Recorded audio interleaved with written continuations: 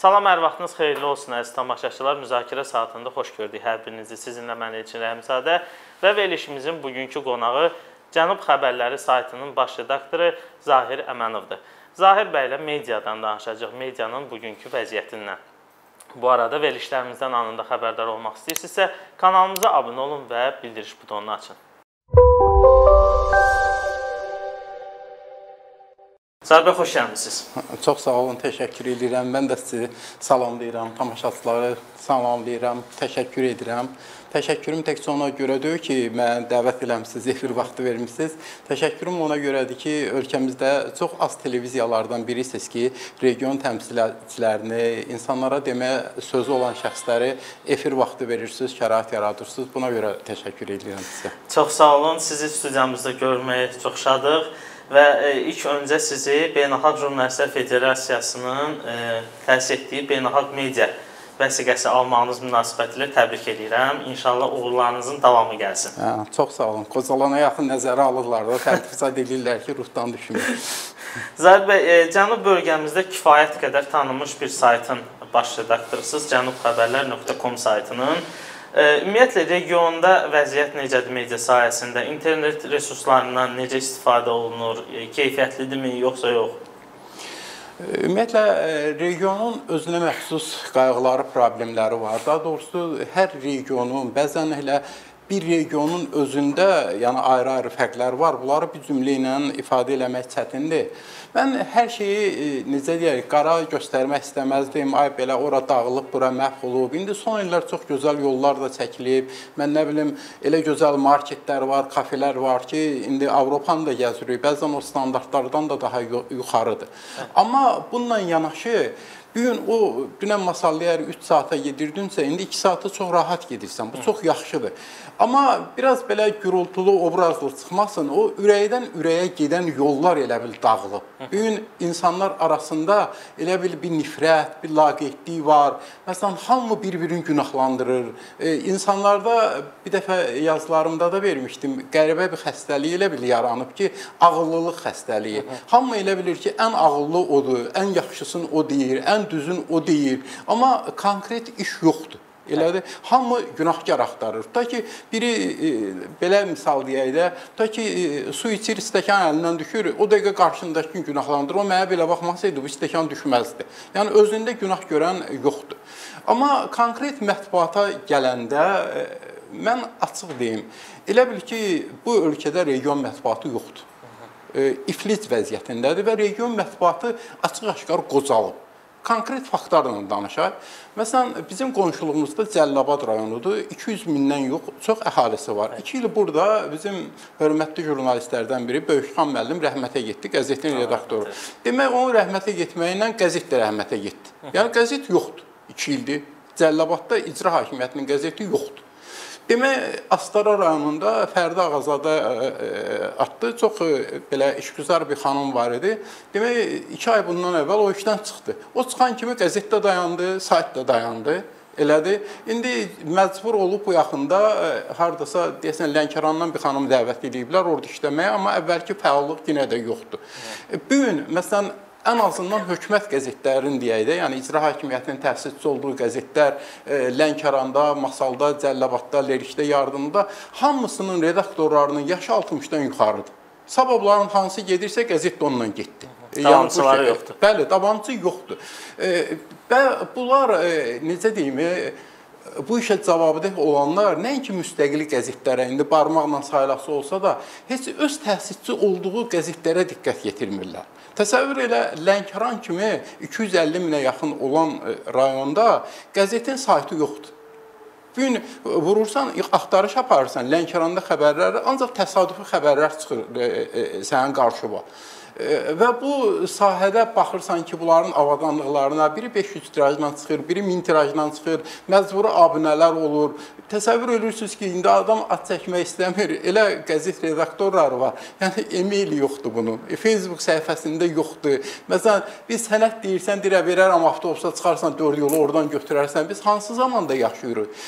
Və bununla yanaşı icra hakimiyyətlərinin saytları var. Yəni bu 12 il qabaq yaranıb. Bu saytlar ay ərzində çox ola 3-4 yazı qoyurlar. Bəzən bir materiala bir şəkildən artıq da qoymurlar. Demək prezidentin sərəncamı ilə burada yaradılıb saytlar. Burada elektron xidmət var. 12 ildə o xidmət boşdur. Bu saytlarda nə olmalıdır? Bu saytda məsələn icra hakimiyyəti gün ərzində nə sərəncam verirsə, kimə nə torpaq verildi, kimə nə vəzifə verildi, buna bənzər xəbərlər öz əksini tapmalıdır. Əslində elə bil bu cəmaatı xəbərlərdən çəkindirmək üçündür. Məsələn tədbir olur, tədbirdən məlumat verir, mənim o danışdı, bu danışdı filan elədi. Tədbirin ruhu yoxdur tədbirin ruhu hiss olunmur orada. Ancaq quru yazılardır. Yəni oxucu oradan heç nə görür ki, e, e, nədir bilmir. Ancaq elə xoşları gəlir ki, atlar sadalandı, falan kəs deyir ki, mənim adımı orada çəkdilər. Baxış sayda çox belə elə gülünc rəqəmləndir ki, o sağacı ora qoymaya utanırlar ki, yəni görsənməsin, yəni bax saylarıdır. Yəni bunların dərslərindən danışdın, yəni saatlarla danışarsan, yəni. Zəl bəy, sizin saytınız ə, e, belə deyim, bölgədə ə, e, ictimai siyasi prosesləri, ümumiyyətlə insanların ə, e, problemlərini ən çox işıqlandıran saytlardan biridir. Ə, sizin bu fəaliyyətinizlə bağlı sizə hər hansı bir təzyiq göstərilirmi? Ümumiyyətlə vəziyyət mediaya təzyiqlər varmı orada? E, demək, düzün desəm, təzyiqləri o qədər eləyib yorulublar. Yəni kimdən e, az qala bir 30 ildir qəzet buraxırdım, Cənub masallı xəbərləri, sonra Cənub xəbərləri 6 dəfə məhkəməyə düşmüşəm. Yəni mənə millət vəkili də məhkəməyə verib, universitet rektoru da verib, icra başçısı da verib, hətta məhk mən hakiminin təsdiqi ilə də veriblər məhkəməyə. Qəribə də olsa Azərbaycan reallığında mən bu işlərin hamısını unutmuşam.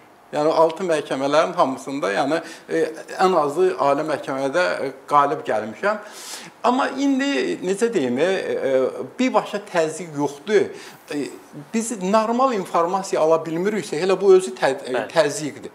Məsələn, bu yaxında biz Ədliyyə Nazirliyinin tədbirində iştirak elədik. Məhkəmə hakimləri ilə, demək, paytaxt jurnalistlərinin görüşü idi. Çox maraqlı tədbir idi həqiqətən ki, yəni elə bil hörmətli prezidentin sərəncamına uyğun olaraq məhkəmə istatlarına uyğun bir növ yumşalma var ki, insanlar məlumatı daha rahat alsınlar. Tutaq ki, bu günləri sən bilmirsən ki, Xətai rayonunda 20 hakim var. Məlumatı kimdən alasan, konkret adam olacaq, ona zəng eləyəcəksən ki, mən bunu almaq istəyirəm. Mən həmin tədbirdə çıxış eləyib deyim ki, mən dedim rayonda yaşayıram. Məsələn, mən istəyirəm ki, rayon məhkəməsi həftə ərzində tutaq ki, 20 işə baxırsa, bunların xülasəsini mənə versin. Hə. Kimin işinə baxıb və nə qərar qəbul eləyib. Biri soruşdu ki, bu sənin nəyəvə lazımdır? Deyim, mən ona görə lazımdır ki, deməli elə insanlar var, onların xəbəri olmadan məhkəmədə onun işinə baxırlar. Hə, Heç olmasa burada görsün oldu. ki, mənim işimə baxıblar, mənə nə cəza veriblər də belə. Yəni mən rayonda kimə zəng eləməliyəm? Həmişə bu informasiyanı ala bilməliyəm. Hansı təşkilata zəng edirsən, deyir ki, Bakı ilə məsləhətləşməmiş deyə bilmərik. Mətbuat xidməti belə gəldi, plan elədi. Yaxşı, bu adam intihar eləyib. Mən buna mətbuat xidmətinə məktub yazınca cavab alınca bu adamın 40-ı da çıxır. Belədir. Mən bir epizod deyim. E, Masaldan 70 saylı dairədən Nərman Əliyev demək 9 ildir ki, Milli Məclisə deputat idi. Mən bir ay öncə bundan müsahibə almaq istədim. Yəni e, müraciət elədim. Belə çox xoş qarşıladılar. Lap yaxşı hörmətimiz var filandır, bəs məkandır. Amma çox belə mədəni şəkildə qaçdılar elədi. Özdə mən çox orijinal formada müsahibə almaq istəyirdim. Dedim ki, mən sizə sual verməyəcəm. Mən e, sosial şəbəkədə paylaşacağam, müsahibə almaq istəyirəm. İzləyicilər nə sual verirsə, siz o suala cavab verərsiniz. Elədir? Tamaşaçıların sualı. Bəli, tamaşaçıların suallarına cavab verərsiniz. Yəni mən görsənmək istəmirəm. Elədir? Sual olardıqda sən nə istəyirsən cavab ver. Elədir? Və bunlar təkidlə qaçdılar. Mən məcbur oldum müəllif yazısı ilə çıxış elədim və o müəllif yazısını da sayta qoymadan öncə o peşəkar jurnalistika e, nədir? qaydalarına müvafiq olaraq yolladım bunların özünə ki, bax mən bu yazını qoyuram. Elədir? Nəyə etiraz edirsiniz? Nəyə sözünüz varsa buyurun deyin. Yenə də demədilər. Yazının özündə yenə də yazdım. Yazdan sonra yenə sözünüz varsa, yenə sizə şans verməyə hazıram. Bax bu cürə. Məsələn, mən millət vəkilindən, yəni o sorğuya cavab ala bilmədim. Hansı ki bu millət vəkili 9 ildə bir dəfə də olsun parlamentdə çıxış eləməyib. Mən elə yazdan ona sual verdim. Tutaq ki, mən yox, hansı bir müstəqil, yəni e, siyasətçi sizi debata çağırdı. Yəni sizlə suallaşmaq istədi. Yaxud siz xarici ölkəyə getdiniz, orada hər hansı bir erməni siyasətçisi millət vəkili kimi sizlə debata çıxmaq istədi və siz onda nə deyərsiniz? Niyə bu cəmiyyətdən qaçırsınız? Yəni bu elə əslində mən bunu təzyiq kimi bilmək istəyirəm. Çünki e, regionun reallıqları var. Mən tutaq ki, bu gün bu hadisə olur. Mən indi Bakıya gələndə, bura gələndə yolda gördüm ki, demək Gəncə e, nədir? Bakı yolunda e, mikroavtobus qəziyə uğrayıb, bir nəfər ölüb. Mən onu elə oradan ola-ola dedim, sayta qoydular. Yəni orada ola-ola şəkillə. Yəni əgər e, müqayisə aparsız, demək hadisənin olmağı ilə sayta getməyə 15 dəqiqə çəkib. Yəni biz bunu elədik. Amma mənim rayonumda hadisə olur, tutaq ki, adam sağlanır, neynir, neynir. Mən bu məlumatları mərkəzi mətbuatdan oxuyuram. Niyə bu mənim üçün əlçatan olmamalıdır və e, polis şöbəsi özü maraqlı olmalıdır ki, mən bu məlumatları verim, Bəli. yəni ictimailəşsin. Mən elə bu mövzuda bir e, müqayisə eləmək istəyirəm. E, çünki bunlar ictimailəşsə, bəlkə də cinayətin açılmasına çox kömək olar. Evet. Da ki, bizim Təzə Alvadı kəndi var. Mən bu yaxında orada eşitdim ki, deməli bir məhəllədə 2 ildir 6 dəfə oğurluq olub. Demək və bunların heç birinin üstü açılmır və hamısı eyni motivlidir. Deməli, e, ev sahibi toyda olarkən götürüb pəncərəyə daş atırlar, pəncərəni sındırırlar və arxayın olurlar evdə adam yoxdur, reaksiya yoxdur. Və həmin sınıq pəncərədən demək e, açırlar e, pəncərəni, içəri girirlər. İçəridə də qızıl və pulu götürüb çıxardırlar. Sonra mən bunu bir iki nəfərə danışandan sonra dedi, eyni motivli cinayətlər Cəllabadın Kastamabad kəndində də olur. Yəni bu ictimailəşsə, çoxları deyə bilər, izə düşmək olar. Və bunları e, niyə gizlədirsiniz? İndi siz də olmusunuz çox e, xarici səfərlərdə. Yəni bu gün əslində e, dünya miqyasında cinayətin açılması çox uğur sayılmır. Onlar istəyirlər cinayət baş verməsin. Bəli. Cinayət baş verməsin. Yəni bir onu açmaq sadə bir şeydir. Elədir, biz bunun baş verməməsidir. Yəni amma bu gün e, ciddi cəhlə gizlədirlər, hətta aqressiv qarşılayırlar. Mənə belə problemlər olur. Bir də ki mən e, həmişə çıxışlarımda demişəm, e, deməli e, regionda e, müstəqil mətbuatı elə müxalif mətbuat kimi qiymətləndirirlər. Bəli. Mən uzun müddət necə deyirlər, partiya sovet işində çalışmışam. Yəni e, heç yeni Azərbaycan Partiyasının üzvü olmamışam. Yəni uzun müddətli müstəqil mövqeli jurnalist kimi çıxış eləyirəm. Heç bir müxalif partiyanın üzvü deyirəm. Ümumiyyətlə yəni partiya mənsubiyyətini yaxına buraxmıram. Çünki mən hər hansı partiyanın üzvü olsam müstəqil mövqeyimi göstərə bilmərəm. Mütləq o partiyadan şikayət gələndə mən tərəf tutmalıyam. Ona görə həmişə nə seçkilərdə iştirak eləyirəm, nə bələdiyyə, nə parlament, nə o partiyalara ki, çalışıram maksimum müstəqilliyimi qoruyam yəni bu şəkildə. Sərbəy bəy, siz də qeyd etdiniz, e, bir e, həqiqət var ki, məmurlar e, informasiya verməkdən çəkinir, belə deyim, mediadan qaçırlar. Amma özləri də başa düşmür ki, bu sonda müxtəlif şayələrin, qeyri-dəqiq olan Bəli. məlumatların çıxmasına xəbər səbəb olur və başa da düşmürlər ki, bu birbaşa onların vəzifəsidir. Növbəti sualım belə olacaq ki, mediada reklam bazarının olmaması müstəqil medianın çətinliklərindən biridir. E, Cənub xəbərləri saytı olaraq e, KVDF-dən hər hansı bir dəstək alırsınızmı, almırsınızmı? Ümumiyyətlə e, maliyyə durumunuz nə vəziyyətdədir? Demək mən biraz e, uzaqdan başlamaq istəyirəm bu suala və bunu bir neçə dəfə təkrar eləmişəm. Məsələn, e, regionda götürür qəzet, məsələn, tök hökumət qəzetləri ancaq tərif yazır. Yəni bunları da oxuyan yoxdur. Təsəvvür elə ki, 200 min, 250 minlik əhalisi olan e, bir rayonun 1000 e, tirajla qəzeti çıxa ya çıxmaya, heç o o iclasın keçirildiyi zal bəzən ondan böyük olur ki, yəni 500 nəfər realda iclas eləyirlər. Mən nə bilim 600 nəfəri 500 e, tirajlı qəzetdə bu çap olunur. Məsələn, tərif yazırsan, qəzeti heç kəs oxumur. Tənqid yazırsan, təzyiqlə üzləşirsən, götürürsən monopoliyadır deyə tutaq ki, məsələn, sement satan deyir ki, məndən başqa sement satan var. Nəyə reklam verəsiyəm ki? Elədir. Götürürsən, qrantda alırsan xaricdən, deyirlər şpiondur, xarici işləyir. Yaxşı, bəs biz nə etməliyik? Elədir. Yəni bir belə problem e, yaranır. Qaldı ki, maliyyə məsələsinə, yəni biz başa düşürük. Yəni qəzet, sayt kommersiya strukturudur. Biz özümüz özümüzü dolandırmalıyıq. E, buna görə e, məsələn bizim birinci işimiz odur ki, maraqlı yazılar verək, e, yəni və bizə diqqət çox olsun. E, özünüz də mətbuatdan bilirsiniz ki, son aylar e, yəni saytımıza aylıq baxış 700-800 min olur. Elə gün olur ki, məsələn 50 min izləyici, yəni bizi izləyir. Bu Google şirkətinin də diqqətini cəlb eləyib artıq bizə reklamlar verir. Yəni bu təşkilatlar reklamlar verir. Yəni biz bu günləri bir layihə üzərində işləyirik. Yəqin ki, yaxın vaxtlarda o reallaşacaq. Biz istəyirik ki, bu sayta əlavə kimi bir demək Masallıda az reklam saytı da yaradaq. Rayonda nə qədər xidmət sahələri varsa, tutaq ki, maşın düzəldənlərdir, lap belə qəbir qazanlardır, mənim mollalardır, nədir?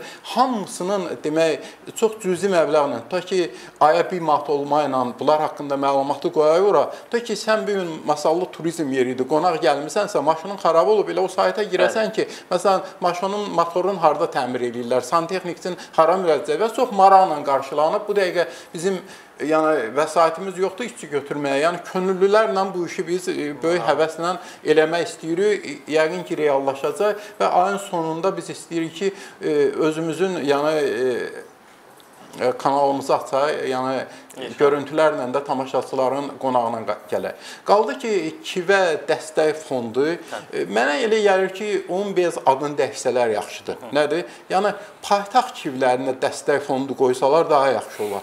Çünki bu yarandığı müddət ərzində cəmi bir dəfə demək region qəzetlərinə kömək olub. O da çox gülünc vəziyyətdə. Necə olub bu? Demək, bir də zəng elədilər ki, bankda bizim hesabımıza pul gəlib. Dedim, nə yaxşı, mən pulsuz gözləmirdim. Getdim gördüm ki, dedilər ki, 1000 manat pul köçüb hesabla. Belə pulu çıxartmayımdan zəh gəlməyən bir oldu. Dedilər ki, Kivə dəstək fondundan sizi narahat edirlər. O pulu götürün, gəlin Bakıya. Deyir, xeyr ola. Ondan sonra dedi, sizə avadanlıq verəcəyik. Dem avadanlığı verirdiniz, elə gətirib verirdiniz. Nə? Biz onu təzədən e, pulu bayından çıxartmayı bir xərc eləyir, ora gəlib götürmək falan nəsə çox dedilər, gəldim. Gəldim, hə. Gördüm ki, bizə kompüter ayrılıb, mənim diktafon belə də cüzi avadanlıqlardır və ötəri müqayisə elədim. Tutaq ki, bu günləri masalda tutaq ki, 300 manat olan kompüteri burada mənə 500 manata təklif eləyirlər. Mən diktafon hələ də Nesusda baxdı, təmir eləyə bilmədi. Mən də bu barədə yazdım. Yazdım. O vaxt elə idi ki, məsələn, Kivə Dəstək Fondu bir çox müxalif qəzetlərə də pul verirdi. Heç kəs bunu çap eləmədi. Yəni axırı Xural qəzeti çap elədi. Bunu ki, onunla da bu yardım yığışdı.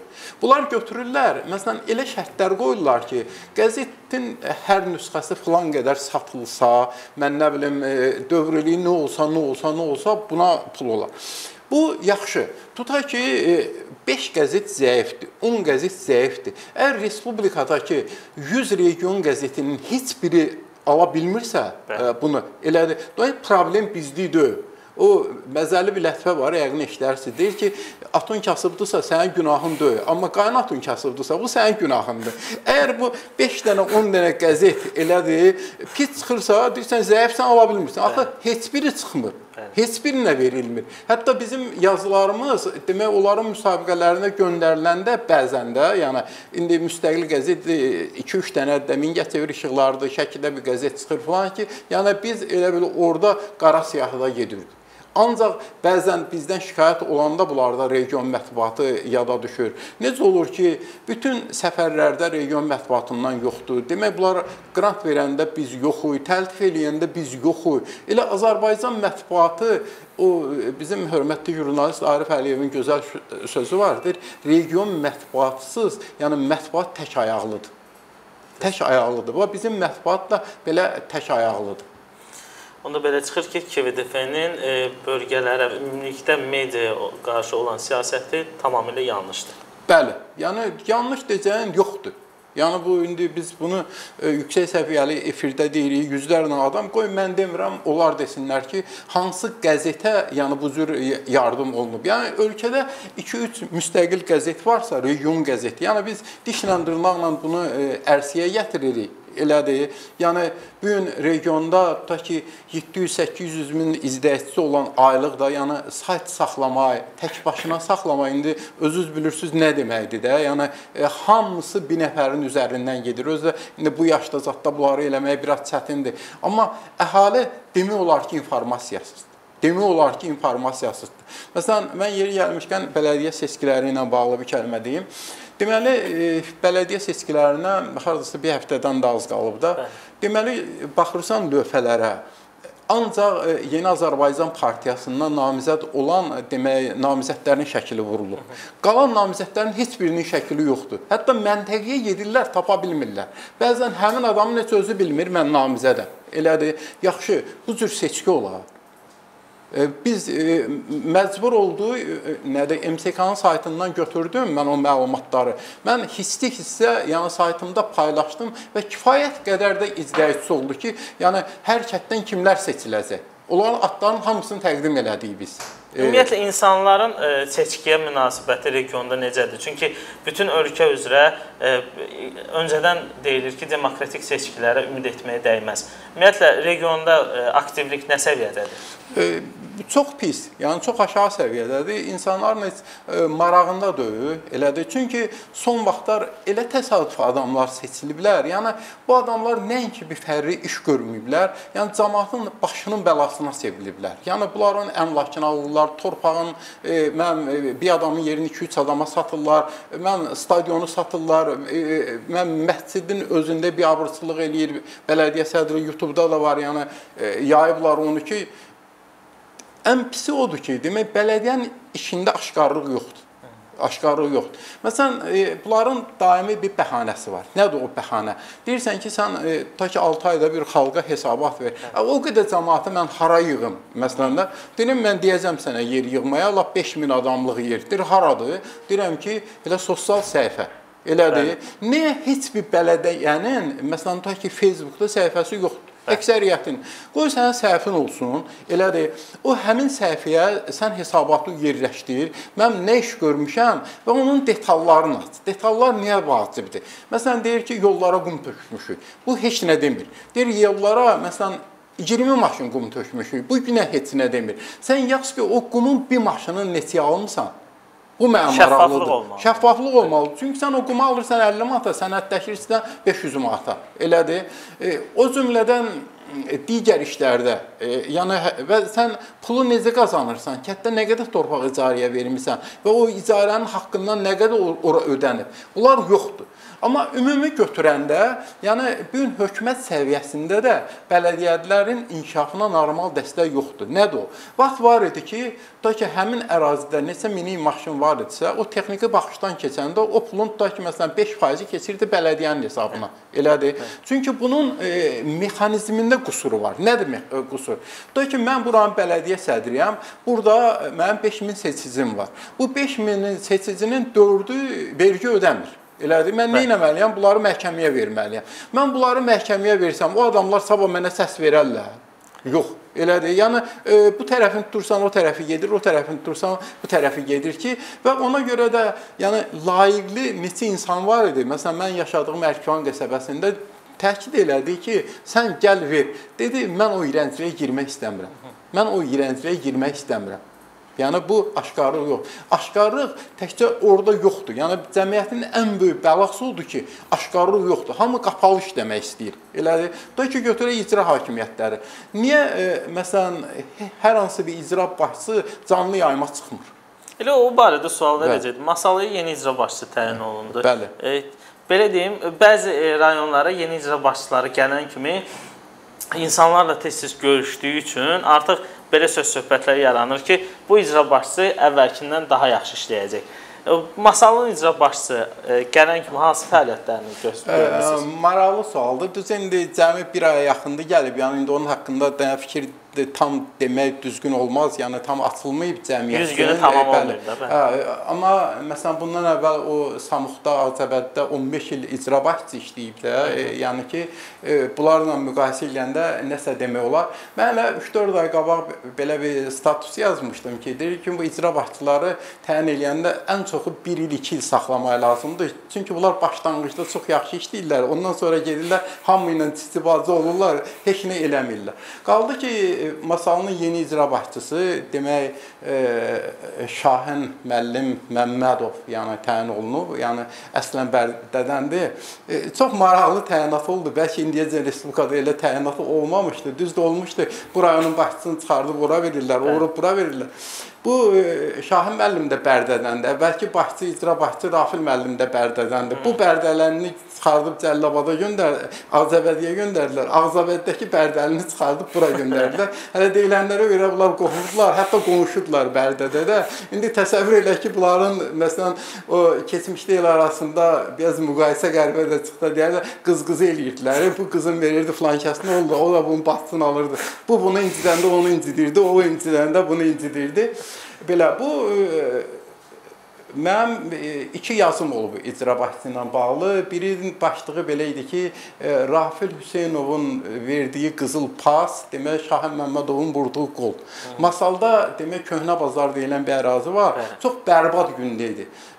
Rafil Hüseynov masalda bir xeyli işlər gördü, asan xidmət, kollec yaratdı, mənim çoxlu küçələr, kəndarası yollar təmir olundu. Amma o bazarın arxasındakı yolu təmir eləmədi ki, eləmədi, sahibkarlar var özləri eləsinlər. Şahin müəllim gələn kimi, yəni qısa müddətdə orada yüksək təmir abadlıq işləri azandı. Elə bil ki, bunun verdiyi pası qola çevirdi. Yəni e, cəmaət arasında çox e, yaxşı qarşılandı bu. İkincisi, demək o e, hardasa öz verdiyi iclasda məlumata görə deyirəm ki, 250 maşından çox qum çınqıl göndərib, yəni ən ucqar kəndlərə ki, o ən azı o çala çuxurları, gölməçələri zadı doldursun, çox yaxşıdır. Demək əsas fəaliyyətində diqqət çəkən odur ki, təhsilə hədsiz diqqət göstərir. Yəni öz verdiyi məlumata görə ondan yuxarı məktəbdə olub, mənim yüzlərlə sinifdə olub, şagirdlərlə zadla görüşür. Çoxlu ağac əkib yaşıllaşdırma işləri görüb e, və əvvəlkilərdən fərqli olaraq elə bil ki, bir partizanlıq eləmir də, onu çıxartsın, bunu qoysun, bunu Hə. falan eləsin ki, yəni heç kəsə dəyməyib. Amma bu özü də qəribə suallar doğurur da. Demək belə çıxır ki, e, demək bir dənə pis işləyən əvvəlki başçı imiş, o getdi, qalanları yaxşı yaxşı işləyir. Komanda yaxşı, yaxşı işləyir. Yaxşı, o pis işləyirsə onu niyə başqa rayona başçı göndərdilər? Elədir ki, yaha tərəfindən tutursan, bir tərəfi e, boş qalır. Mən e, o bu yaxında veteranlarla və gənclərlə, e, yəni e, görüş keçirdi. Mən dəvət olunmamışdım, açıq üzvlüyümə saldım, getdim. Və əyləşdim tədbirdə. Demək tədbirin əvvəlində bu qeyd elədi ki, mən işçilərimə tapşırmışam ki, rayon ərazisində, xüsusən şəhərdə, qəsəbələrdə ən faal insanlar bu tədbirə dəvət olunsunlar. Elədir? Mən də bir zala nəzər saldım. Mən də rayon fəallarını tanıyıram da. Demək onların əksəriyyəti yox idi burada. Mən qarışıq. Elədir? Məsələn, QHT rəhbərləri var idi. Çox belə e, sosial səfə, e, şəbəkədə faal olan insanlar var. Belə bunların heç biri dəvət olunmamışdı. Yenə də o nişanlanmış atomlar idi. Yəni o xüsusi adamlardı da. Yəni o elə adamlara deyir ki, iclasa dəvət olunmaya. Onlar ancaq özünə münasib adamlar çağırır. Məsələn, zalı doldurmaq üçün vaxtaşır olaraq kollecin şagirdləri dəvət olunur, ya muzeydəki olan dərnəklərdəki gənclər olur. Yəni eyni adamlar az qala bütün tədbirlərdə iştirak olunur. Mən də bunu təqdim elədim. Yəni tədbirin formatına baxanda, məsələn, istər-istəməz elə bil başçının dünya görüşündə təsəvvür yaranır.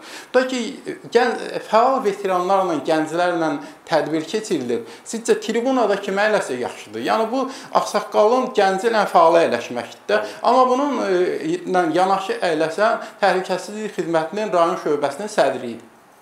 Yəni o nə gənc idi, nə veteran idi. O niyə əyləşməli idi orada? Yəni bizi qorxutmaq üçündür. E, və bu fəalları, gəncləri çağırmışdı. Yerdən bir iki replika istisna olmayla e, öz çıxışını qutaran kimi tədbir qutardı. Heç kəs sual verməyə şərait yaradılmadı.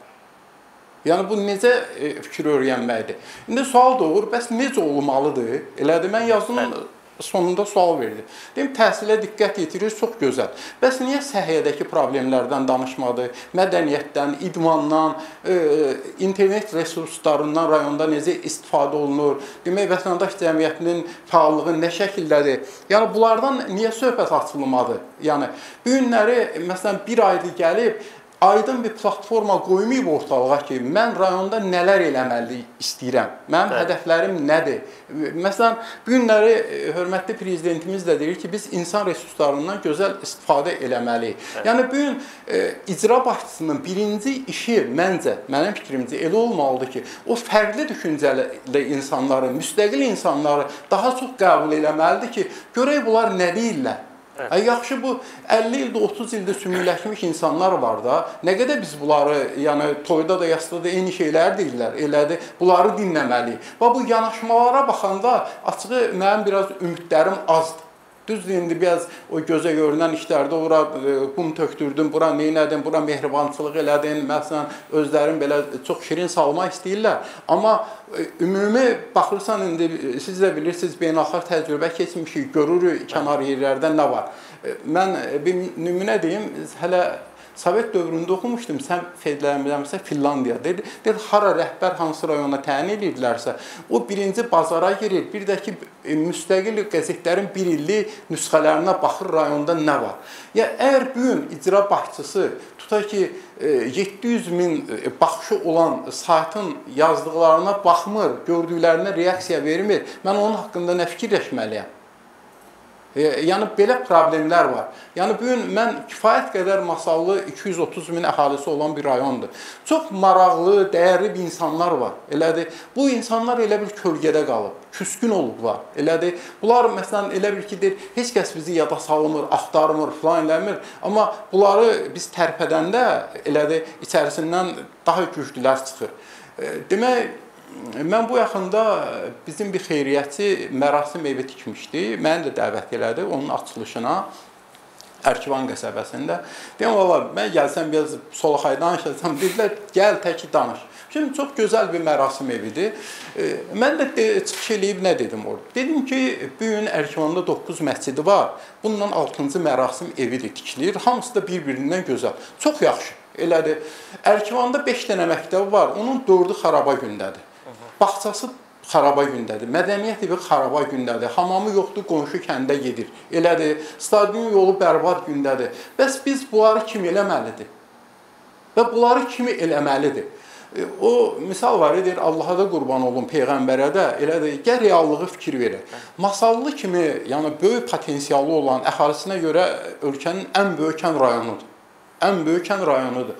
Demək bu gün siz bilirsiniz, Masaldan xarici ölkələrdə nə qədər tələbə təhsil alır? Cəmi 20 nəfər. Elədir. Masaldan hər il 500 nəfərə yaxın həccə, Kərbalaya, Məşədə gedir. Bəzən də dav eləyirlər. E, Rusiyadan nəzir boyunu alıb gəlib 5 nəfəri Məkkədə göndərəcəm, 6 nəfəri Kərbalaya göndərəcəm.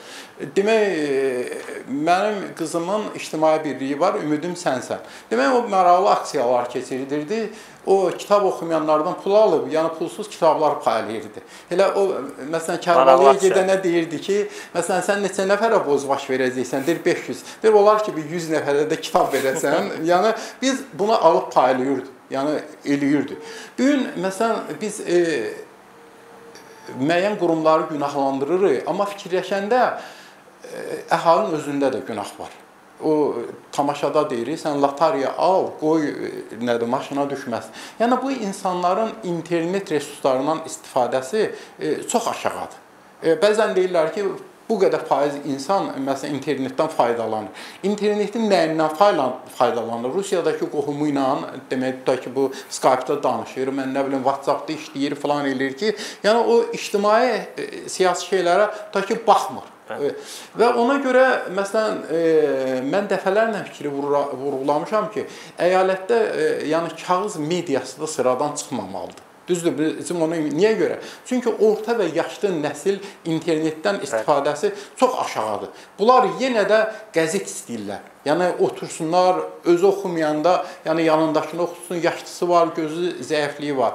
Ümumi götürəndə region mətbuatına kompleks yanaşma olmalıdır kompleks yanaşma olmalıdır. Bu gün biri deyir mətbəə lazımdır. Mən deyirəm heç mətbəə lazımdır. Mən PDF variantda qəzet hazırlayıram, göndərirəm mətbəəyə. E, bir saata hazır eləyirlər, bir dənə sürücüyə verirlər, gətirir ora.